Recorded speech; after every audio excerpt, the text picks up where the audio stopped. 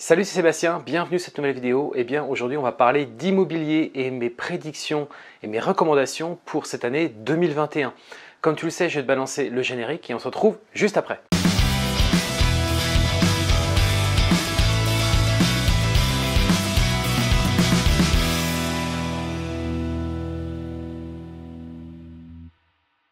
Alors avant de commencer cette vidéo, je vais t'inviter tout d'abord à laisser un gros pouce bleu. Un gros pouce bleu, ça va motiver à te livrer toujours et encore plus de vidéos sur cette chaîne YouTube.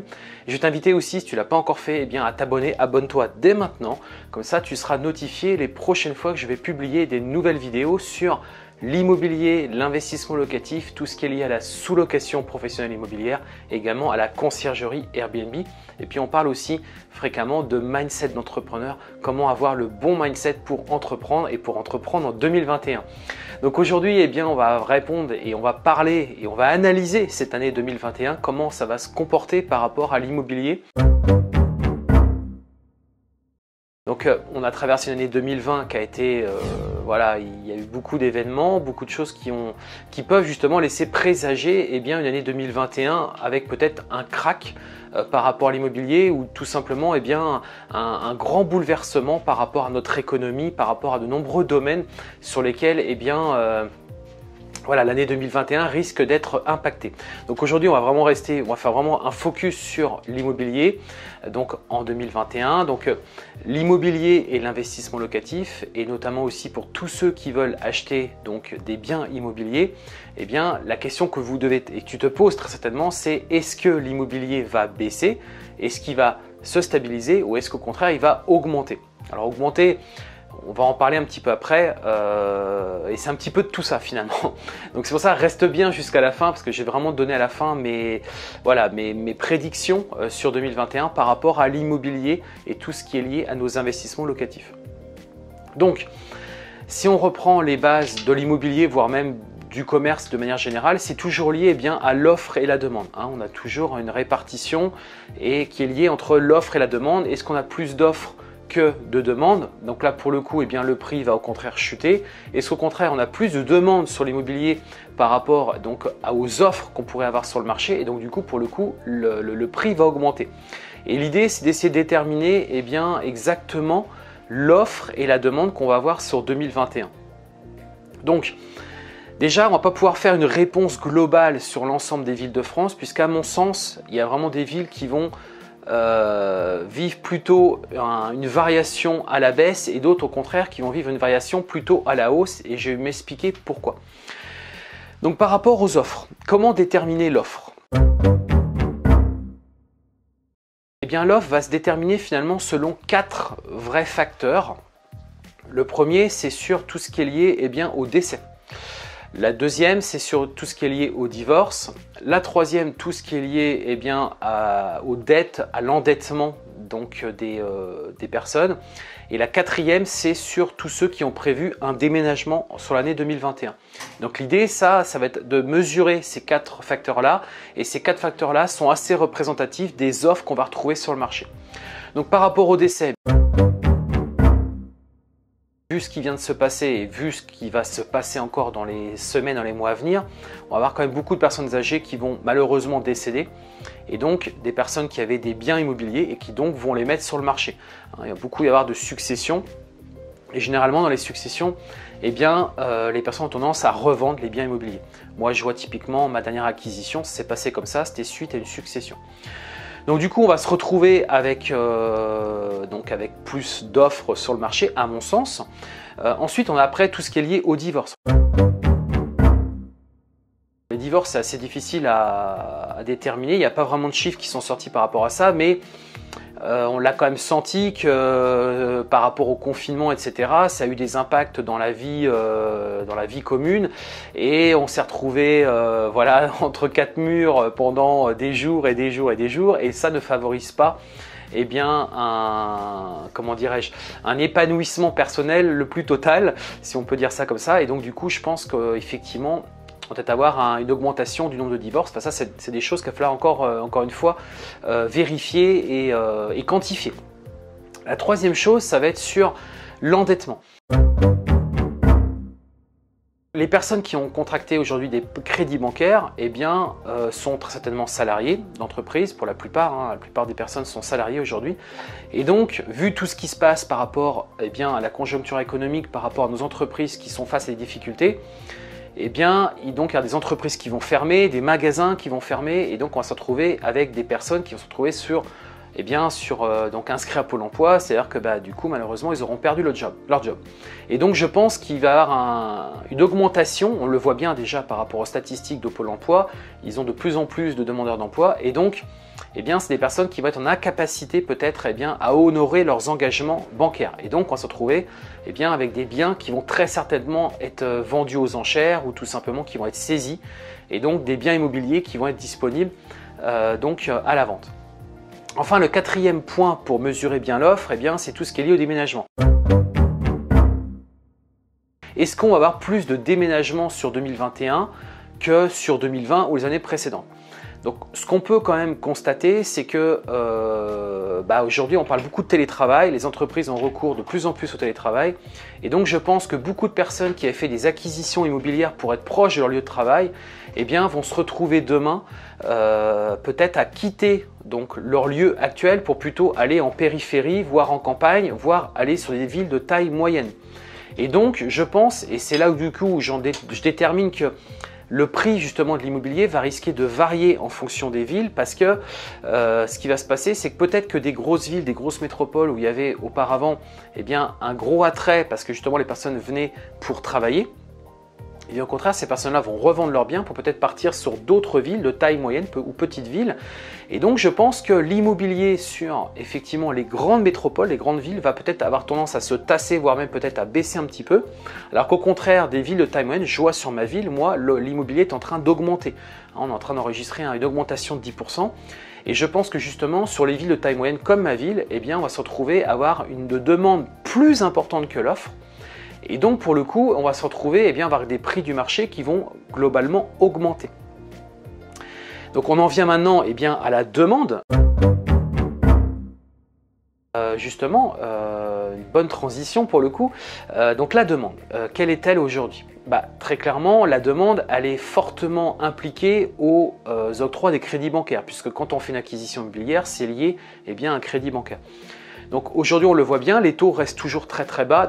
Généralement, c'est assez proportionnel. Quand le prix de l'immobilier est relativement cher, les taux sont plutôt bas parce que c'est soutenu par les banques centrales, donc, euh, par les banques centrales, et les banques centrales sont soutenues par les gouvernements. Pour faire très simple, pour résumer assez, assez simplement. Et aujourd'hui, on voit bien que le gouvernement soutient les banques. Hein, euh, et les banques, bien entendu, soutiennent le marché pour faire en sorte eh bien, que l'immobilier, euh, y ait toujours donc de la bah, que les banques soutiennent notamment donc, l'immobilier. Donc les taux restent toujours relativement bas. Donc ça veut dire que globalement, euh, et de manière assez euh, simplifiée, vu que les taux sont relativement bas, ça veut dire que les, les, accédants donc, à l'immobilier eh bien, euh, vont, ont plus de possibilités donc, pour emprunter. Et donc finalement, on se disent, bah, autant que j'emprunte pour acheter mon bien immobilier, plutôt que de le louer, puisque bah, finalement, peut-être pour la même somme, je vais me retrouver finalement à être propriétaire. Donc ça, c'est plutôt vrai. Donc ça veut dire que l'offre, enfin la demande sera toujours, à mon sens, globalement équivalente. Mais il y a un paramètre qu'il va falloir aussi qu'on vérifie, c'est par rapport aux facilités d'accès au crédit bancaire. C'est-à-dire qu'autant sur une résidence principale, les banques restent globalement, euh, si tu as une situation qui est globalement correcte, stable, eh bien tu vas pouvoir accéder effectivement à la résidence principale. Par contre, si c'est pour de l'investissement locatif, on voit bien que ça se durcit.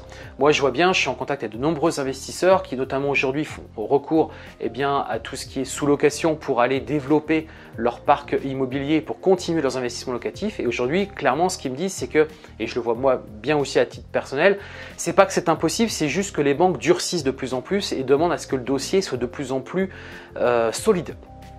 Et donc, je pense que c'est plus difficile, un peu plus difficile, ou alors on va te demander un apport. Et donc, eh bien, dans ce sens-là, je pense qu'on euh, aura peut-être moins de, on va dire finalement, de demandes.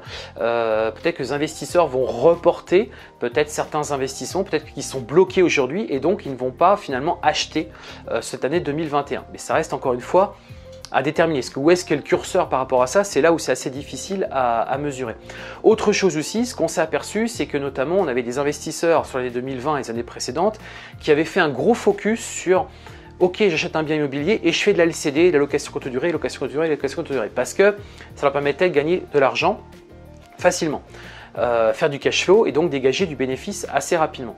Sauf que euh, bah, sur l'année 2020, beaucoup d'investisseurs qui avaient monté toute leur stratégie là-dessus, eh bien, qui n'étaient pas forcément formés, qui n'étaient pas forcément organisés par rapport à ça, se sont rendus compte que le cash flow, eh bien, il a commencé à baisser, ou tout simplement des investisseurs qui ont pris peur par rapport notamment au premier confinement, ils se sont dit oula, c'est terminé, on peut plus faire de LCD, l'immobilier c'est mort, on arrête. Et donc, on s'est retrouvé avec des personnes qui ont totalement arrêté euh, du jour au lendemain parce que, bah, effectivement, euh, ils ont pris peur par rapport donc à la location courte durée. Donc, finalement, je pense qu'on a aussi des biens qui vont se retrouver en plus sur le marché. Euh, de certains investisseurs qui auront effectivement arrêté leurs investissements locatifs de peur peut-être de la rentabilité que ça pouvait leur dégager, peut-être même qu'eux-mêmes se sont retrouvés dans des situations un petit peu plus compliquées. Donc ça, la, demande, j'ai envie de te dire, c'est un peu plus difficile à la, maîtriser. Autant l'offre, moi je pense qu'il y aura toujours de l'offre, il y aura toujours des, bah, besoins. Autant sur la demande, il y a de la demande, mais elle est beaucoup liée aux banques, très clairement. Euh, c'est très clairement lié aux banques. Donc, est-ce que les banques vont toujours suivre tous les projets qu'on faisait auparavant? Ça, c'est le grand mystère. On voit bien que c'est quand même durci cette fin année 2020. On, le sait tous, c'est durci. Donc, est-ce que 2021 va être euh, a priori possible, à mon sens, ça sera toujours possible, puisque c'est soutenu encore une fois par les banques centrales, et les banques centrales sont, soutenues par les gouvernements. Donc pour l'instant, tant que le gouvernement, j'ai envie de te dire, soutient tout ça, et on se demande comment d'ailleurs, euh, comment, tant que le gouvernement soutient tout ça, j'ai envie de te dire, tout ça reste globalement euh, possible. Et je pense que 2021, il n'y aura pas de crack, il n'y aura pas de gros bouleversements. Par contre, et c'est ce que je te disais un petit peu avant, je pense qu'il y a des villes qui, au contraire des villes de taille moyenne, voire des petites villes, eh bien le prix de l'immobilier va augmenter va augmenter très prochainement. Alors qu'au contraire des villes, des grandes villes, eh bien je pense que l'immobilier va au contraire baisser ou au moins se stabiliser. On n'aura plus les grosses augmentations comme on avait chaque année. Donc voilà un petit peu pour moi, à mon sens, ce qui va se passer dans l'immobilier sur 2021. Donc n'hésite pas à toi à me dire en commentaire euh, bah, comment tu vois cette année 2021. Est-ce que tu continues tes investissements locatifs? Est-ce qu'au contraire tu vas te mettre plutôt en pause? C'est intéressant de pouvoir échanger par rapport à ça. Personne n'a la version, euh, personne n'est magicien et personne ne va pouvoir te prédire l'avenir. J'ai pas de boule de cristal proche de moi. Donc très sincèrement, je m'appuie juste sur du factuel, sur le comportement et ce qui va se passer clairement dans le comportement humain sur l'année 2021. Donc ça permet de dresser un certain, un certain prévisionnel, si on peut dire ça comme ça. Et j'ai envie de te dire, et si la question c'était euh, est-ce qu'il faut attendre ou pas moi, à mon sens, il n'y a pas lieu d'attendre puisque les crédits, les, taux de crédit sont toujours bas. Donc, tant que c'est bas et tant que ton prévisionnel démontre que tu es capable de générer du cash flow, même en location traditionnelle et pas en location à haut rendement, en exploitation au rendement, eh bien, pour moi, il n'y a pas lieu de s'affoler. Il y a au contraire, il faut continuer. Ça sert à rien de s'arrêter parce qu'encore une fois, on n'a qu'une vie. Les années, elles défilent pendant ce temps-là. Et j'ai envie de te dire, chaque année, et même dans l'immobilier, on le dit tout le temps, il y a tout le temps des opportunités. L'immobilier, ça marchait super bien il y a 20 ans, il y a 30 ans, il y a 50 ans, ça marche toujours bien en ce moment. C'est juste qu'il faut s'adapter à la situation, s'adapter aux villes, bien faire ses études de marché et bien se projeter sur la ville, sur ce qui va se passer. Hein, on le voit par exemple sur des villes qui ont été désertées, par exemple comme Saint-Étienne, où le prix de l'immobilier a complètement chuté. Et bien aujourd'hui, le prix de l'immobilier remonte et repart à la hausse. Donc tu vois bien que l'immobilier, c'est que des jeux comme ça. Et donc effectivement, il faut être dans les bonnes années. Et si tu n'es pas dans la bonne année, tu n'as pas acheté au bon prix, franchement, je te recommande de ne pas vendre. Surtout pas vendre, attendre, attendre, attendre, attendre, attendre. Ça ne sert à rien de revendre et bah, finalement perdre de l'argent à la sortie. Donc voilà un petit peu ce que je voulais te dire dans cette vidéo. Donc comme je te le disais, n'hésite pas à commenter, n'hésite pas à partager aussi cette vidéo avec euh, des personnes qui pourraient être intéressées sur euh, l'investissement locatif. Et avant de te quitter, je vais t'offrir une formation totalement gratuite sur justement comment investir dans l'immobilier. Peut-être que c'est ton premier investissement locatif, eh bien comment investir dans l'immobilier et comment exploiter en location courte durée. Je te livre toutes mes stratégies, comment eh bien, euh, donc, euh, automatiser ta location courte durée et comment remplir ton calendrier si tu fais ce type d'exploitation. Tout ça est expliqué dans cette formation totalement gratuite que je t'invite à découvrir tout en bas de cette vidéo. On a terminé, je vais te souhaiter une excellente journée, je vais te dire, eh bien, je vais te souhaiter beaucoup de succès dans tes futurs projets et je te dis à très bientôt.